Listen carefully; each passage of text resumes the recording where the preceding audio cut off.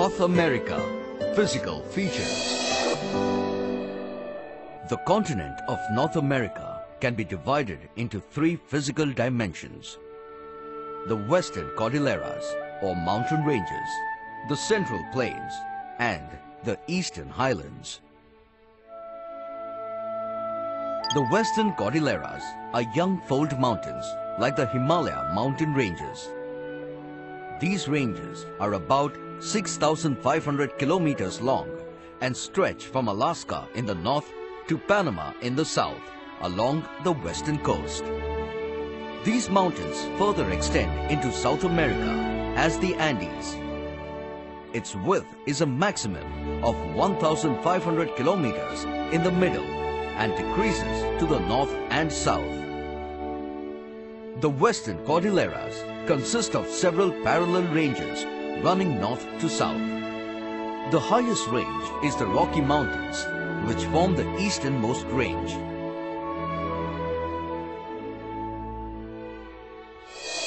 Mount McKinley, at a towering 6,200 meters, is the highest peak in North America and lies in the Alaska Range.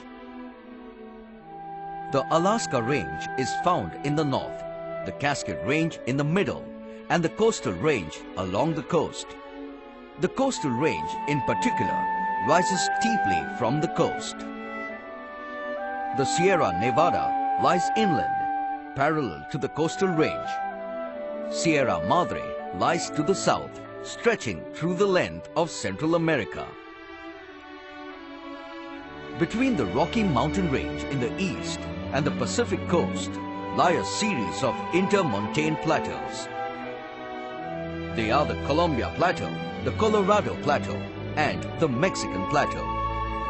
Many of these plateaus have been cut up by rivers.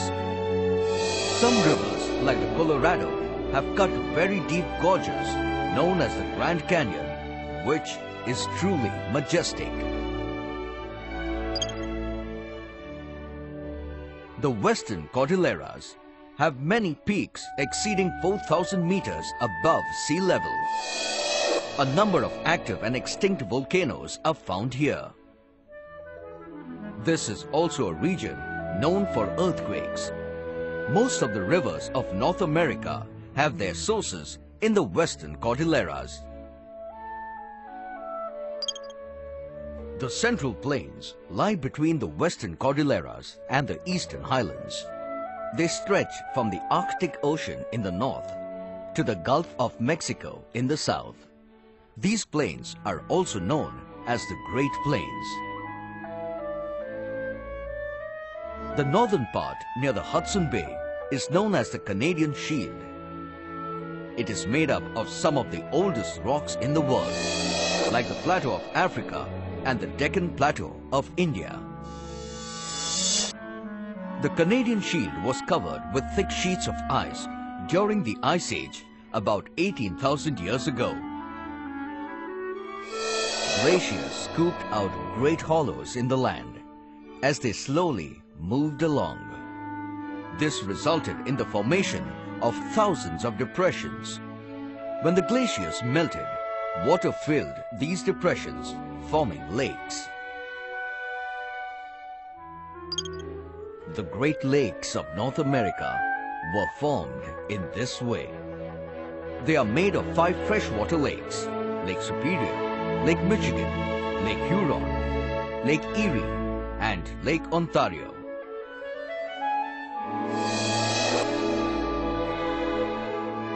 Many short rivers drain the Canadian Shield and enter the Hudson Bay.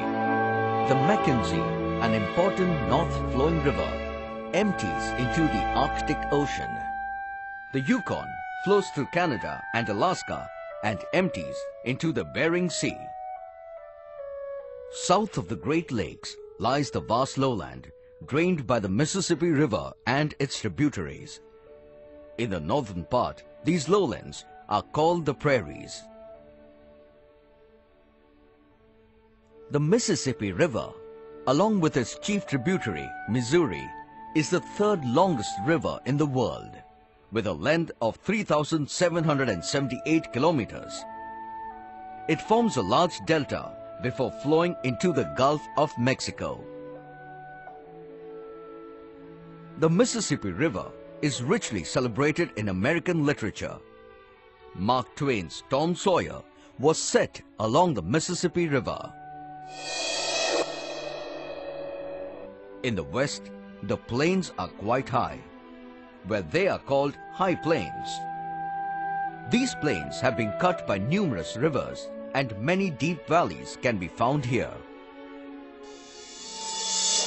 The Eastern Highlands or the Appalachians are a 2,575 kilometers long chain of mountains stretching from the valley of St. Lawrence River down through most of eastern United States. They are not very high, being below 2,000 meters in most places.